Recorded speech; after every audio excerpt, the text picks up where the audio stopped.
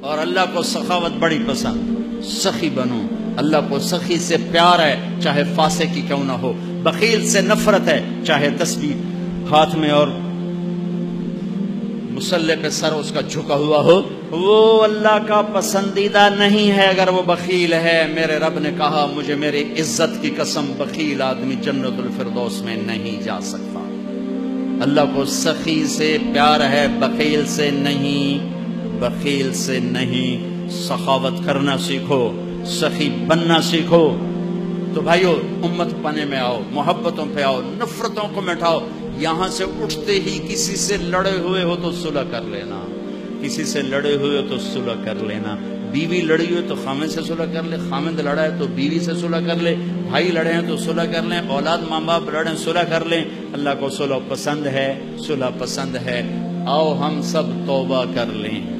اے زمین آسمان کے شہنشاہ، اے ہواؤں کے چلانے والے اللہ، اے فضاؤں کے مالک اللہ، اے انسان جنات کے خالق اللہ، اے محمد مصطفیٰ جیسی حسین ہستی بنانے والے اللہ، اے محمد مصطفیٰ صلی اللہ تعالی علیہ وسلم کا ہمیں امتی بنانے والے اللہ، اے بحر و بر پہ روج کرنے والے اللہ، ہمیں نفس و شیطان کے شر سے بچا میری نسل کو آوارگی سے بچا، میری نسل کو ماں باپ کی نافرمانی سے بچا۔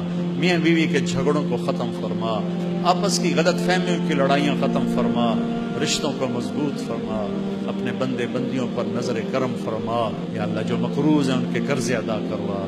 یا اللہ، جن کے بچے بچیاں جوان ہیں، ان کے نیک رشتے مقدر فرما۔ بازاروں میں سچائی کو زندہ فرما۔ رزق حلال کے فضا بنا۔ یا اللہ، پوری امت مسلمہ پر نظر کرم فرما، پوری دنیا کے اہل کفر کو بھی ایمان کی دولت نصیب فرما۔ ہم سے جان بوجھ کے خطا سے سہمن، جو خطا ہو، معاف فرما۔ جو ہمارے عزیز، اقارب امت محمد صلی اللہ علیہ وسلم ایمان کے ساتھ تیرے پاس پہنچ گئے، ان کی قبریں روشن فرما۔ اور جب ہمارے جانے کا وقت آئے تو ہمیں آفیت والی واپسی ہو، محبتیں بھر دے۔ چاروں صوبوں میں یا اللہ آپس میں محبت پیدا کر دے، ہماری قیادت میں سے بدیانت لوگوں کو اٹھا کے باہر پھینک دے، خائن لوگوں کو اٹھا کے باہر پھینک دے۔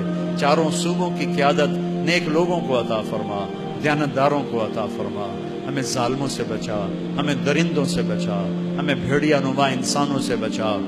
ہمیں دیانتدار لوگ نصیب فرما۔ ہمیں کوئی صدیق جیسا عطا فرما۔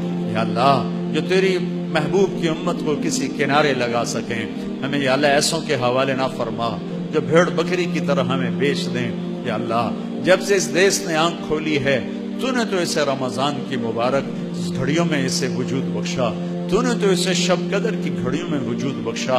اور اللہ اس کی قبر روشن فرما، جس نے اس کا نام پاکستان رکھا۔ لیکن میرے مالک، ہم نے اپنے ہاتھوں سے اسے گندگی سے بھر دیا، اسے ظلم سے بھر دیا۔ ہم تیرے آگے بہت شرمندہ ہیں، یا اللہ۔ تجھے بلاتے ہیں، یا اللہ۔ تو اس دیش کی نیا کو پار لگا دے۔ یا اللہ، ہمیں ایسے ہمیں ایسے ملاح نہ دے جو سودے کر کے آپ اٹھ کے بھاگ جائیں اور ہمیں بے رحم موجوں کے سپرد کر جائیں۔ ہمیں ایسے لوگ عطا فرما جو راتوں کو وہ تیرے عمر کی داستان ہم تک پہنچی ہے۔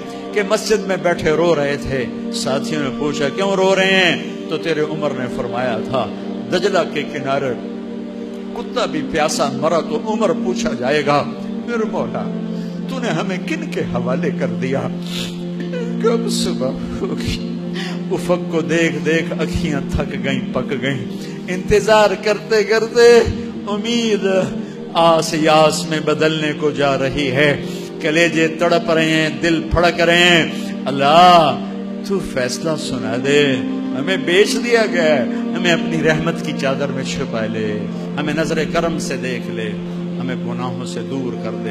نافرمانیوں سے دور کر دے۔ ہماری توبہ قبول فرما لے۔ ہمیں نظر محبت سے دیکھ لے۔ مالداروں کو سخی کر دے۔ حکمرانوں کو رحم دل کر دے۔ اور ججوں، قاضیوں، وکیلوں کو عادل کر دے۔ مسجدوں کو آباد فرما۔